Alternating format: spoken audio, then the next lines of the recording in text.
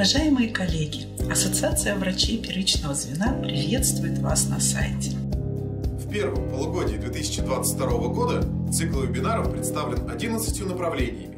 Вебинары проходят в одно и то же время, каждую субботу и воскресенье. 15.30 по субботам курс нутрициологии.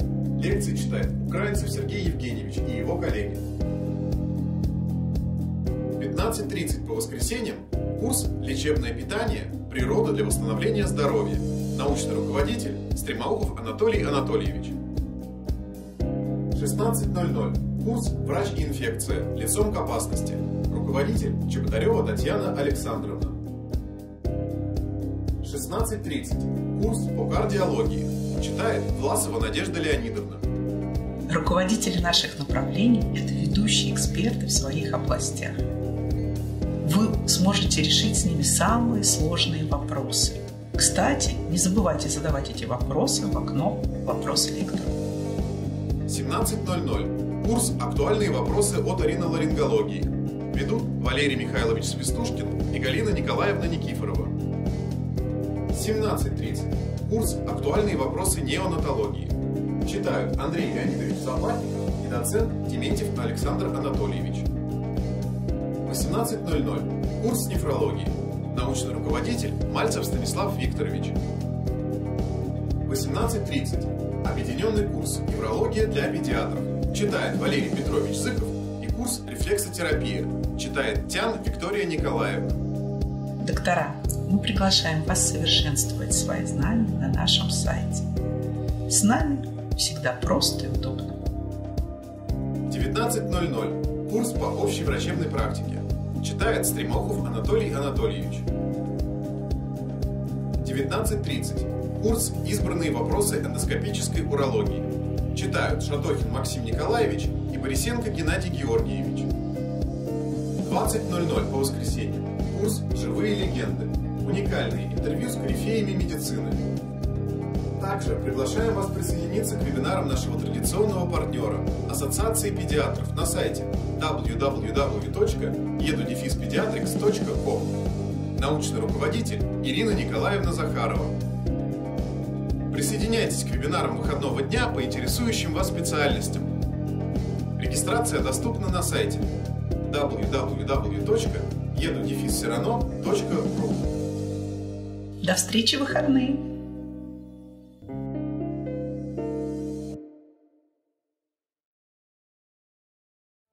Ассоциация Сирано рада представить новое мобильное приложение.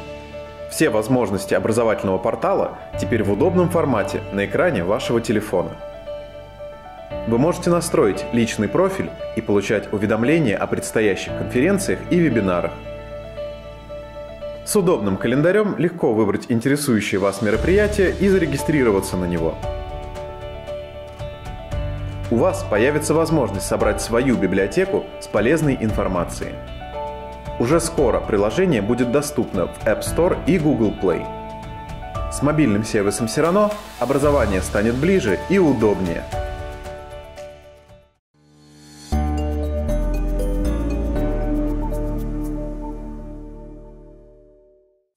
Что такое Сирано?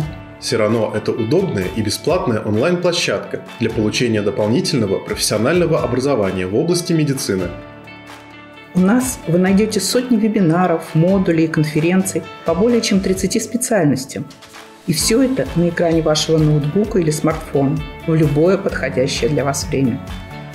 Наши научные руководители – это ведущие специалисты страны, заведующие кафедрами, заслуженные врачи России, авторы клинических рекомендаций – мы понимаем, как не просто практикующему врачу найти время для изучения нового материала. Наша команда делает все, чтобы приобретать актуальные знания было удобно и просто.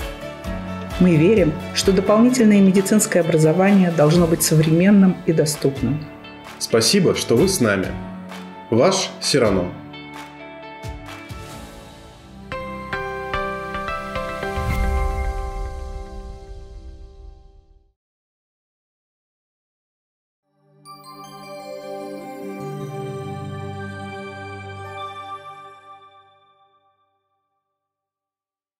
Добрый день, уважаемые коллеги. Разберем тему иммунотерапии в реабилитации больных, перенесших коронавирусную инфекцию. Проблема современная, актуальная. Давайте коснем ее. С чего начну? Конечно, надо начать с обстановки, в которой мы сейчас находимся, с неврозов. Вы поймете, почему в дальнейшем. Что такое неврозы? Это функциональное нарушение нервной системы. К факторам, располагающим к развитию неврозов, относятся особенности личности, конечно, условия созревания, воспитания, уровень желаний, а также функциональная недостаточность нейрофизиологических систем, что делает людей уязвимых к психогенным воздействиям. Выделяют три невроза, вида неврозов. Это истерия, невростения и невроз навязчивых состояний. Наиболее распространенной формой является, конечно, невростения, для которых характерны общеневротические нарушения. Это головная боль, нарушение сна, а также различные вегетативно-висцеральные симптомы. Поэтому возникают трудности в диагностике заболеваний из-за сложного соотношения психогенных и соматических факторов. Невростения, в свою очередь, делятся на гиперстеническую форму и гипостеническую форму. Для гипостенической формы характерно это психическая и физическая астения, снижение работоспособности, чувство усталости, вялости. Для гиперстенической формы, наоборот, чрезмерная несдержанность, нетерпимость, слезливость, нарушение сна. Встречается переходная форма, когда одна форма переходит в другую. К невротическим расстройствам относятся и ипохондрические расстройств, так называемый ипохондрический невроз. Когда развивается ипохондрический невроз? Развивается у людей с тревожно-мнительными чертами характера. Больной приписывает себе различные заболевания и патологические процессы, которые сопровождаются сомато-вегетативными проявлениями. Невроз представлен неадекватным отношением человека к своему здоровью. Заболевание может развиваться на фоне какой-либо соматической патологии или без нее – Возникает страх, например, за свое здоровье, наклонность и приписывать себе заболевания, которых нет. Причины. Конечно, акцентирование человека на пережитом стрессе, при сложившейся ситуации, мнительность, болязнь за здоровье близких. Какие невротические проявления? Это удрученность, нежелание что-то делать, апатия, которая может сменяться агрессией, нарушением сна, потеря аппетита. И главное, что эти больные, и в частности дети, обращаются за медицинской помощью. Эти действия могут носить навязчивый характер. Они постоянно приходят, жалоба у них меняется, то один орган болит, то другой, то к одному специалисту, то к другому. Какие соматические проявления у этих больных? Это головная боль наиболее часто, головокружение, учащенное сердцебиение, одышка – боль в области грудины, сердца, суставах, спине, отмечается миалгия, отмечается мышечный тонический синдром. И все эти симптомы воспринимаются как тяжелое заболевание. Стрессы были и будут. Я почему начал с этого с неврозов? Потому что, учитывая нашу обстановку, с чем мы можем столкнуться в дальнейшем, какие больные будут к нам приходить. Причин много. Знаете, мы попали в такое время, когда строим капитализм. Это опять идет перестройка. Оптимизация медицинской службы. Мы с вами касаемся. Да, аттестация. Внешнеполитическая обстановка. Масса информации. То есть стрессы принимают массовый характер. Темп жизни усилился, да. Избыток идет информации, неудовлетворенность социальными условиями каким-то жизни. Отмечается умственное и физическое перенапряжение. Снижен уровень культурных взаимоотношений между людьми. На этом фоне, ну, такой обстановку, да, еще карантин. Инфекция и вынужденный карантин. Поэтому взрослые дети большое количество времени отводят в цифровом формате, мы с вами знаем. И сейчас тоже проводим обучение наших курсантов дистанционно. Обучение, работа, это касается и школьников – это сопровождается, конечно, гиподинамией. Уже педиатры пишут, что увеличивается масса тела у детей, снижаются физические и адапционные возможности у детей. Психиатры отмечают, но увеличивалось количество суицидов. Вы знаем, это проблема в интернете, что даже группы какие-то организуют, настраивают детей на суицидальный поступок. Увеличилось обращение к психиатрам на треть. Психиатр тоже отмечает это, эти изменения. Мы испытываем эмоциональный стресс. Это за счет ограничения контактов между собой, между учителями и учениками. Это страх потерять работу, да? страх, может быть, недостаточно получить знания или отметки какие-то школы, страх за свое здоровье. Ну и, конечно, так как большинство стационаров было переориентировано, это тоже ограничение возможности обратиться за медицинской помощью по поводу текущих заболеваний и болезней. Или появление новых жалоб. Это тоже эмоциональный стресс. Все это обусловливает появление массового адаптационного синдрома. Мы испытываем информационный штурм, так пишут авторы. То есть это избыток негативной информации в стране и во всем мире практически. Это появление новых штаммов, эта информация тоже влияет на наше эмоциональное состояние. Количество заразившихся, умерших больных. К счастью, это в нашей стране эти цифры снижаются. Это уже как-то положительно влияет. Как умственное перенапряжение. Все это приводит к развитию массового, как я уже сказал, адаптационного синдрома и к различным формам невротических и панических расстройств, клиническая картина которых, вот самое главное, может напоминать симптомы соматических заболеваний. Постковидный синдром. Пишут журналы наши ведущие неврологи, пишут, что изменение, конечно, будет касаться и головного мозга. Э, но пока полной информации нет, но уже первые клинические признаки мы видим. Мы испытываем, как авторы пишут, мозговой шторм, цитокиновый шторм. Могут поражаться и функциональная система организма, центральная нервная система, периферическая нервная система, иммунная система, кроветворная, как мы знаем, опорно-двигательный аппарат. И, конечно, поражаются соответствующие органы. Это головной мозг, но на первом месте клинически наиболее часто это поражение легких. Но, как авторы пишут, это может касаться всех функциональных систем организмов. Это касается и сердца, миокардита, и почек, и паренхематозные органы, и железы внутренних секреций, и другие нарушения. Все это со временем будет анализировано, конечно, и будет представлено, мы будем представлять в полном объеме, каких больных мы с вами получим в так называемом постковидном периоде.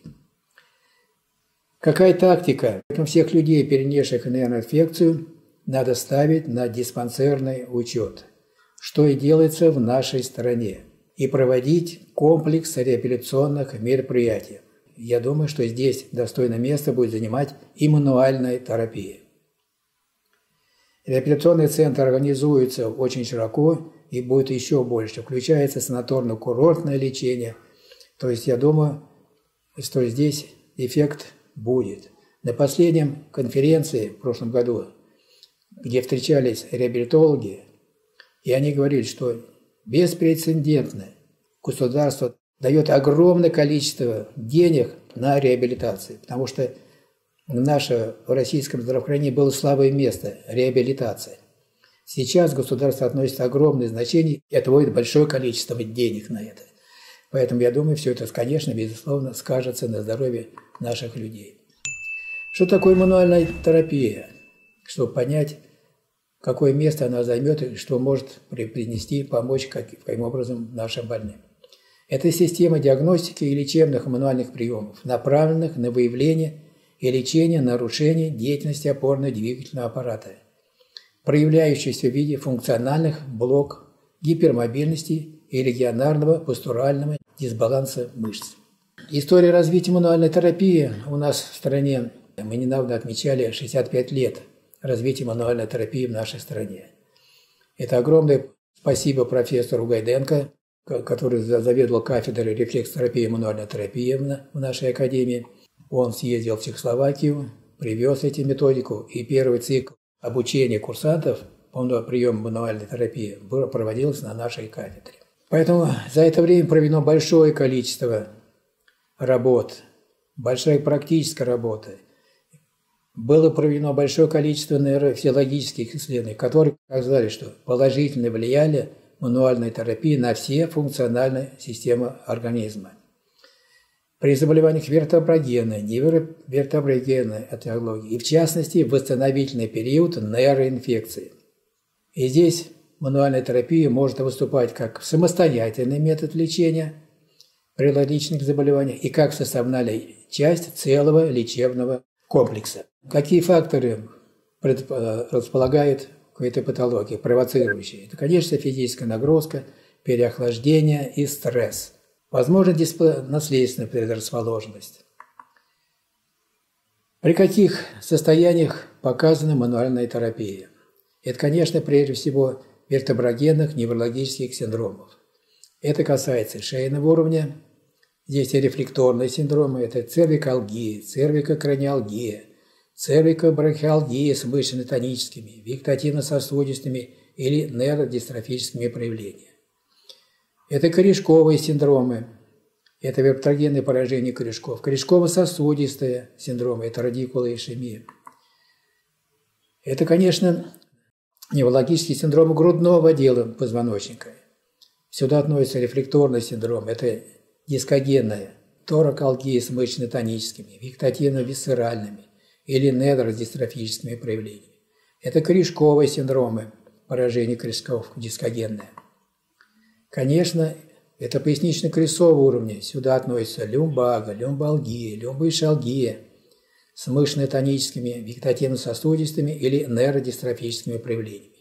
Корешковые синдромы. Дискогенное поражение корешков, включая синдром конского хвоста и корешково-сосудистые синдромы. Что мы видим, что мы получим после нейроинфекции? Какие варианты течения заболевания? По ковидным синдромам могут появиться новые соматические заболевания. Могут обостриться хронические, которые были, имели место заболевания опорно-двигательного аппарата. Могут появиться новые поражения опорно-двигательного аппарата за счет гиподинамии, стресса, мы, я упор сделал на это моменты. Могут быть сочетания новых и хронических, и могут появиться, главное, неврастенические и панические расстройства. Они, конечно, появятся. То, что мы с вами сейчас в настоящее время переживаем. Поэтому очень сложно определить причинно-следственные связи между заболеваниями соматическими опорно-двигательного аппарата, неврастеническими и паническими расстройствами. Симптомы соматических заболеваний. В чем сложность? Симптомы соматических заболеваний и патологии опорно-двигательного аппарата при неврастенических и панических расстройствах могут имитировать соматические заболевания и патологию опорно-двигательного аппарата. Поэтому больные часто наблюдаются терапевтами, неврологами, травматологами, мануальными терапевтами. А с другой стороны, течение соматических заболеваний Патология опорно-двигательного аппарата может напоминать невротические и панические расстройства. Ну, конечно, безусловно, они могут и влияют друг на друга. Какие невротические и панические расстройства могут имитировать, так можно сказать, соматические заболевания? Больные жалуются на боли за грудиной, изменение по тахикардии, нехватка воздуха больные жалуются, головокружение, чувство онемения и покалывания, иногда тошнота рвота. Может быть, отмечается даже мышечно-тонический синдром. Редко, но встречаются псевдопарезы, мелкие, наличие триггерных зон и боли в суставах. Поэтому главная задача мануальной терапии, мануального терапевта – наладить контакт с больным. Это уже имеет огромное значение для таких больных. И, конечно, надо провести диагностику с привлечением современных методов исследования, чтобы определить причинно-следственную связи. Что здесь первое, что второе. Профессор Вотчел в своих клинических лекциях говорил, что в медицине есть такие диагнозы, когда трудно врачу определить, поставить диагноз, да, определить патогенез заболевания. Вот в частности, может быть, это относится и к, к неврозу. Зачастую, когда трудно поставить диагноз, да, проведить диагностику, больному ставить там невроз, невротические расстройства. Вот в чем трудность. И поэтому, когда приходят больные, поступают мануальному терапевту трудно определить, с какого заболевания или синдрома начать лечение. Это, конечно, все решается индивидуально. Но если вы наладили контакт с больным, то это уже будет шаг к положительной клинической динамике. Но в любом случае надо исключить прежде всего соматические заболевания. И поэтому тот же Вочел пишет, вот эти диагнозы, невротические, панические расстройства, они должны быть на втором плане. Но если вы видите, наладились контакт с больным, больной видит, что вы к нему сочувственно относитесь, успокаиваете его, что начинаете обследование, это тоже больной начинает успокаиваться, верить, и вы, самое главное, решаете для себя, чтобы не пропустить соматическое заболевание. Если имеет соматическое заболевание, конечно, лучше, вероятнее всего, но это решать надо индивидуально, начинать с соматического заболевания. Даже какая-то положительная динамика клиническая, она будет способствовать тому, что будут уменьшаться невротические и панические расстройства. Но это, как, как правило, решаете индивидуально. Но самое главное, разомкнуто это патологический круг. Потому что невротические панические расстройства, они усугубляют и течение соматических заболеваний. Соматические заболевания тоже влияют на проявление невротических и панических расстройств. То есть, видите, получается замкнутый круг. И практически, наверное, будет и правильно, да, что надо обязательно включать параклинические методы диагностики, а не говорить и не думать, что здесь чисто невротические и панические расстройства. Обязательно проводить диагностику. И при соматических, и не при невротических и панических расстройствах показана мануальная терапия. Это показало наши физиологические, электрофизиологические обследования и, самое главное, практический опыт. Количество таких больных будет увеличиваться. Поэтому их брать, конечно, безусловно, на лечение, на диспансерное наблюдение. И мануальная терапия должна включаться как раз в циклы реабилитационные мероприятия. Я думаю, мануальная терапия займет свое положительное, достойное место. Какие приемы мы используем в мануальной терапии? Начинать надо с приемов мобилизации. Они мелитравматичные, они влияют на мышечно-тонический синдром, болевой синдром, способствуют восстановлению функции. Мануальная терапия показана и при соматических заболеваниях, и при неврастенических и психических расстройствах. Мануальная терапия может использоваться как комплексное лечение, как я уже сказал, но может как самостоятельный метод лечения. Вы берете его и проводите курс лечения. Как правило, курс заключается в 8-10 сеансах. Можете проводить или каждый день, или через день. Зависит, это все решаете индивидуально. Количество курсов тоже, конечно, безусловно, решаете индивидуально.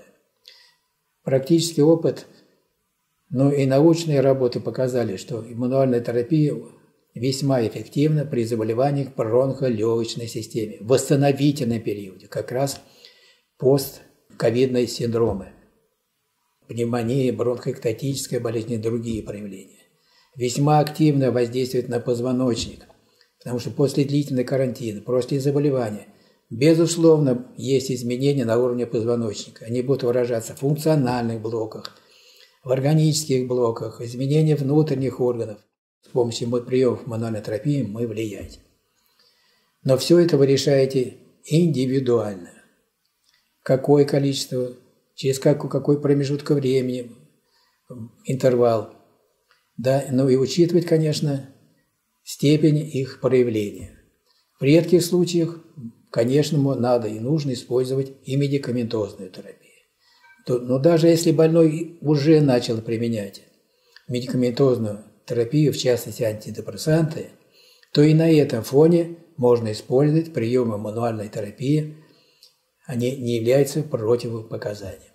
Но если вы вовремя начали, если вы полностью проходите курс реабилитации, то, как правило, в большинстве случаев, и это преимущество мануальной терапии, что оно удается добиваться положительной динамики без медикаментозной терапии.